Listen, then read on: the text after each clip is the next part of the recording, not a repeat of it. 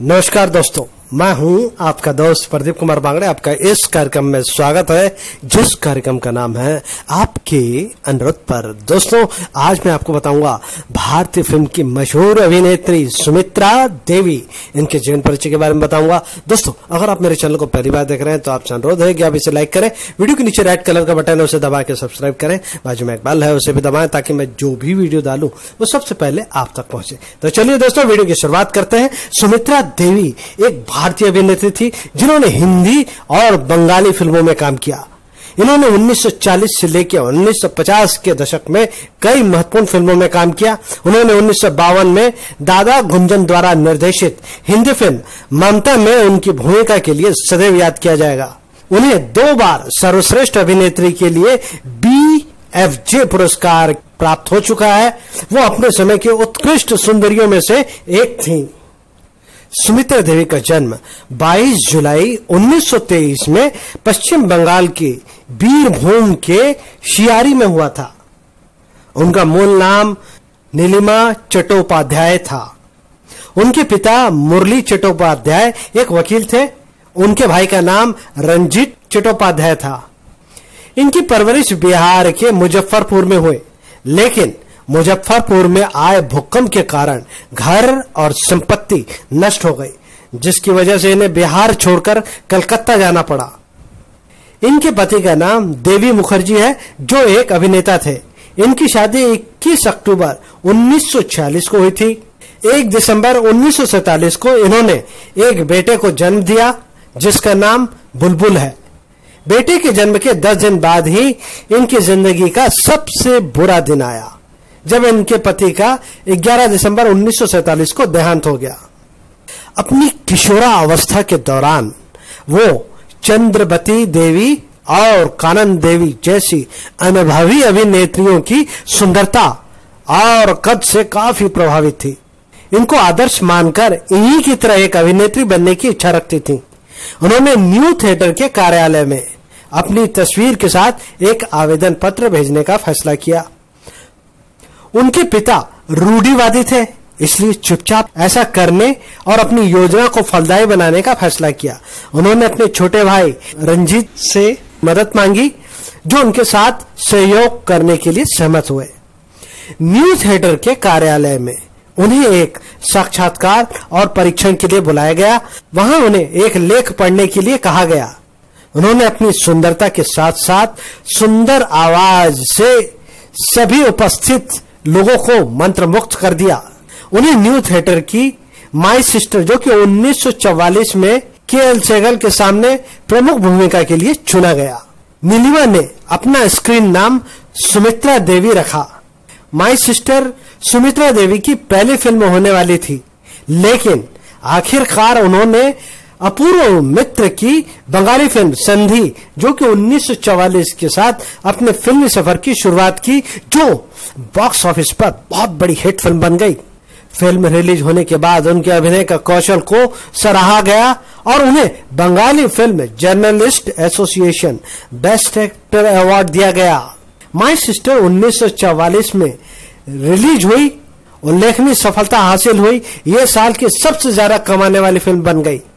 तब वो सोमेन मुखोपाध्याय की हिंदी फ़िल्म वसीयतनामा 1945 में दिखाई दी, जो मूल रूप से बंगाली लेखक बंकिम चंद्र चट्टोपाध्याय के प्रसिद्ध उपन्यास कृष्ण कंदरवील पर आधारित थी।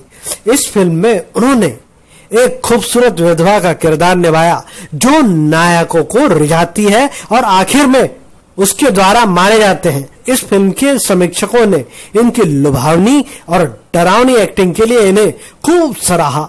उनकी अगली बड़ी फ़िल्म सतीश दास गुप्ता और दिगंबर चट्टोपाध्याय के निर्देशन के साथ पाथेर दाबी उन्नीस थी। ये फ़िल्म बॉक्स ऑफ़िस पर बहुत सफल हुई, क्योंकि ये फ़िल्म समकालीन भारतीय स्वतंत्रता आंदोलन के विभिन्न पहलुओं को समाये हुई थी। उन्होंने फ़िल्म में उनके प्रदर्शन के लिए आलोचकों से सकारात्मक समीक्षा प्राप्त हुई। सुशील मौजूमदार की अभिजीत, जो कि उन्नीस में मुखर्जी के साथ उन्हें फिर से जोड़ा गया, जो एक और बड़ी सफलता बन गई। उनकी अगली फ़िल्म हेमचंद्र की ऊंच नीच, जो कि हिंदी में बनी थी 1948 थी, जिनका बंगाली संस्करण प्रतिबद्ध नाम से रिलीज़ किया गया था। इस फ़िल्म ने राष्ट्रीय और क्षेत्रीय मोर्चों पर एक बड़ी व्यावसायिक सफलता हासिल की। 1950 में वो नितिन बोस की हिंदी फ़िल्म मशाल में दिखाई दी, जो अनुभवी लेखक बंकिम चंद्र चट्टोपाध्याय के प्रसिद्ध बंगाली उपन्यास रजनी पर आधारित है। उन्होंने तारंगिनी का किरदार निभाया, जो समर के चरित्र से प्यार करती है, जो भूमिका अशोक कुमार ने निभाई थी। फ़िल्म में उनके पिता एक अमीर आदमी से उनकी शादी करना चाहते हैं। ये फ़िल्म ने महत्वपूर्ण व्यावसायिक सफलता हासिल की। वर्ष उन्नीस सौ बावन में उनकी चार बॉलीवुड फ़िल्में, दीवाना घुंगरू ममता, राजा हरिश्चंद्र रिलीज़ हुई। दीवाना और घुंगरू जो बॉक्स ऑफ़िस पर उल्लेखनीय सफलता हासिल की। उनके अन्य रिलीज़ फ़िल्में मयूर पंख जो कि उन्नीस में इसमें रिलीज़ हुई, चोर बाज़ार। जागते रहो, जो कि उन्नीस सौ छप्पन में रिलीज़ हुई, दिल्ली दरबार उन्नीस सौ छप्पन में इत्यादि फ़िल्में रिलीज़ हुई।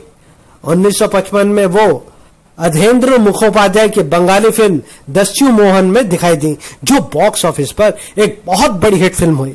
उन्नीस सौ छप्पन में वो पिनकी मुखोपाध्याय की बंगाली फ़िल्म अजबरना, जो कि उन्नीस सौ छप्पन में रिलीज़ हुई। कार्तिकी चट्टोपाध्याय के ब्लॉकबस्टर साहब बीबी गुलाम, जो कि उन्नीस सौ छप्पन में दिखाई दी, जो इसी नाम में बिमल मित्रा के क्लासिक उपन्यास पर आधारित थी। हर कलाकार के जीवन में एक ऐसी यादगार फ़िल्म होती है, जो उसके व्यक्तित्व से जुड़ी होती है। दादा गुंजन द्वारा निर्देशित उन्नीस सौ बावन की हिंदी फ़िल्म ममता में उनकी भूमिका के लिए इन्हें सबसे ज़्यादा याद किया जाता है। वो दो बार सर्वश्रेष्ठ अभिनेत्री के लिए बी एफ़ जे अवार्ड प्राप्त कर चुकी।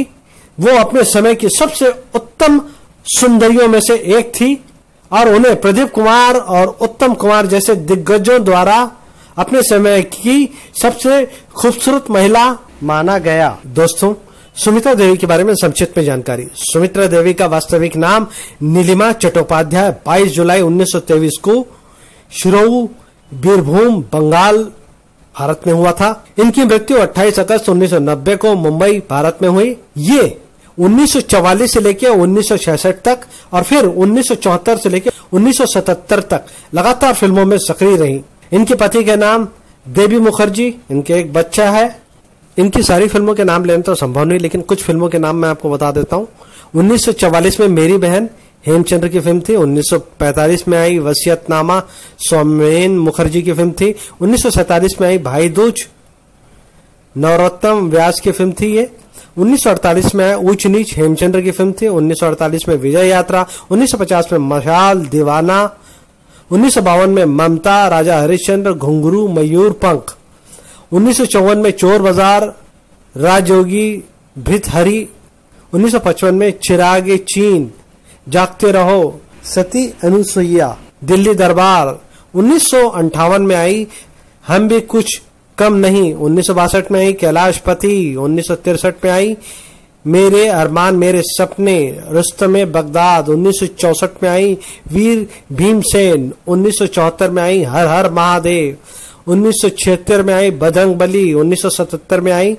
बोलो हे चक्रधारी 1944 में इनकी फ़िल्म आई संधि, उन्नीस में आई पाथेर डाबी, अभिजोग, उन्नीस सौ अड़तालीस में आई प्रतिवाद जाय यात्रा उन्नीस सौ उनचास में आई देवी चौधरानी, स्वामी 1950 में आई समर 1955 में आई दस्य मोहन, उन्नीस सौ छप्पन में आई साहेब बीबी गुलाम, एक दिन रात्रे आधेर आलू, उन्नीस सौ सत्तावन में आई गारर मठ खेला, भांगार खेला, नीलांचल महाप्रभु।